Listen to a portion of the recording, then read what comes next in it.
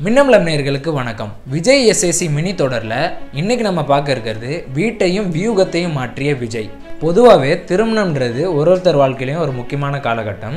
சிலர் திருமணத்துக்கு முன்பு திருமணத்துக்கு பின்புன்னு ஒரு வரையறை உருவாக்கிட்டு அதுக்கப்புறம் இந்த திருமணத்துக்கு முன்னாடி இருக்க வாழ்க்கை ஒன்று திருமணத்துக்கு அப்புறம் இருக்க வாழ்க்கை ஒன்றுன்னு பிரிச்சுக்கிறாங்க. சிலர் அதுக்கப்புறம் வர வாழ்க்கையை ஒன்னோட ஒன்று இணைச்சி சந்தோஷமாக அதுலேயும் ட்ராவல் பண்ணுறாங்க இப்படி ஒரு ஒருத்தவங்க ஒரு ஒரு இதில் மாறுறாங்க. அப்படி விஜய்க்கும் திருமணமாகுது. ஆயிரத்தி தொள்ளாயிரத்தி தொண்ணூத்தொம்போதில் பிரம்மாண்டமாக திருமணமாகுது. என்னதான் ஒரு பெரிய செலிபிரிட்டியாக இருந்தாலுமே விஜய் அவரோட வீட்டுக்கு ஒரு மகன் தான். கல்யாணம் ஆகிட்ட பிறகு அவங்க ஒய்ஃப்க்கு ஒரு ஹஸ்பண்ட் ஆயிரத்தி தொள்ளாயிரத்தி தொண்ணூற்றி ஒன்பதாம் ஆண்டு விஜயோட கல்யாணம் பிரம்மாண்டமாக நடக்குது.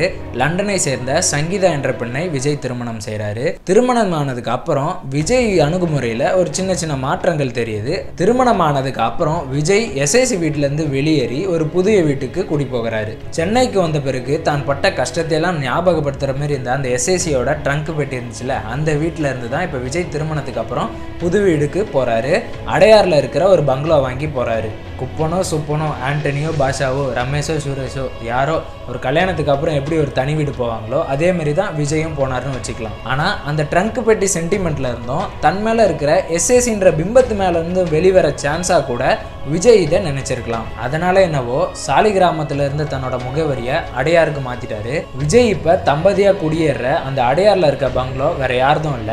விஜயோட ஞான தந்தையான ஜேவியர் பிட்டோ தான். மேபி இந்த தருணத்துல இருந்து விஜய் எஸ்ஐசிக்குள்ள இடைவெளி ஆரம்பிச்சிடுச்சுன்னு கூட சொல்லலாம்.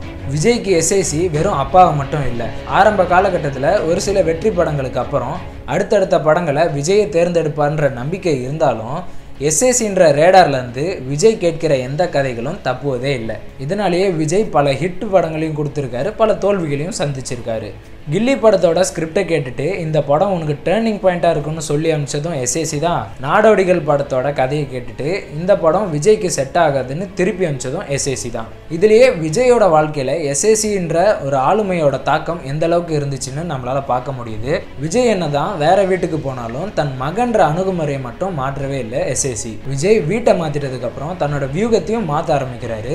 இப்போ ரீசெண்டாக விஜய் எஸ்ஏசி இந்த பொலிட்டிக்ஸ் இதை பற்றியெல்லாம் போயிட்டு இருக்குல்ல.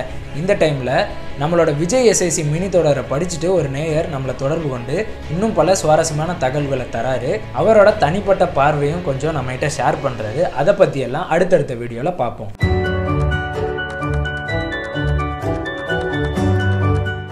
இந்த வீடியோ உங்களுக்கு பிடிச்சிருந்ததுன்னா லைக் பண்ணுங்கள் கமெண்ட் பண்ணுங்கள் ஷேர் பண்ணுங்கள் முக்கியமாக மின்னம்பலம் யூடியூப் சேனலுக்கு சப்ஸ்கிரைப் பண்ணுங்கள்